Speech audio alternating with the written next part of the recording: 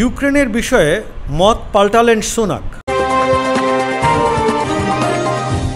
যুক্তরাজ্যের প্রধানমন্ত্রী ঋষি সুনাক বলেছেন, ইউক্রেনে ব্রিটিশ সামরিক প্রশিক্ষক মোতায়েনের কোনো আশু পরিকল্পনা তার সরকারের নেই। গতকাল রোববার ম্যানচেস্টারে সাংবাদিকদের কাছে সুনাক এসব কথা বলেন। অবশ্য গতকালই তার সরকারের প্রতিরক্ষা মন্ত্রী ইঙ্গিত দিয়েছিলেন যে, সামরিক প্রশিক্ষণ দিতে ব্রিটিশ সেনারা ইউক্রেনে যেতে পারেন। রাশিয়ার সঙ্গে সরাসরি সংঘাতের ঝুঁকি কমাতে ইউক্রেনে এখন পর্যন্ত আনুষ্ঠানিক সামরিক উপস্থিতি এড়িয়ে চলছে যুক্তরাজ্য ও তার মিত্ররা।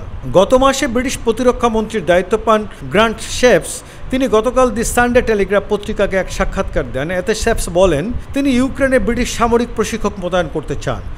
সেপসের সাক্ষাৎকারটি প্রকাশিত হওয়ার কয়েক ঘণ্টার মাথায় সুনাক বলেছেন, ইউক্রেনে ব্রিটিশ সেনা পাঠানোর কোনো আশু পরিকল্পনা তার সরকারের নেই।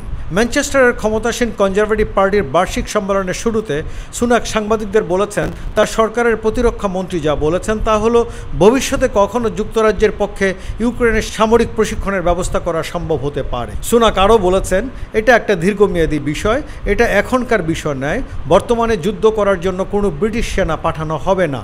ইউক্রেনে ব্রিটিশ সেনা পাঠানোর বিষয়ে গতকালই হুঁশিয়ারি দিয়েছিলেন সাবেক রুশ প্রেসিডেন্ট দ্রিমিত্রি মেদবেদেব। তিনি বলেছেন, কোনো ব্রিটিশ সেনা ইউক্রেনীয় সেনাদের প্রশিক্ষণ দিলে তারা রুশ বাহিনীর হামলার বৈধ লক্ষ্যবস্তু হবেন। যুক্তরাজ্য সহ অন্যান্য পশ্চিমা দেশে ইউক্রেনীয় সেনাদের প্রশিক্ষণ দেওয়া হচ্ছে। এইভাবে গত এক বছরে প্রায় বিশ হাজার ইউক্রেনীয় সেনাকে সামরিক প্রশিক্ষণ দিয়েছে যুক্তরাজ্য। তারা ভবিষ্যতেও একইভাবে সমসংখ্যক ইউক্রেনীয় সেনাদের প্রশিক্ষণ দিতে চায়।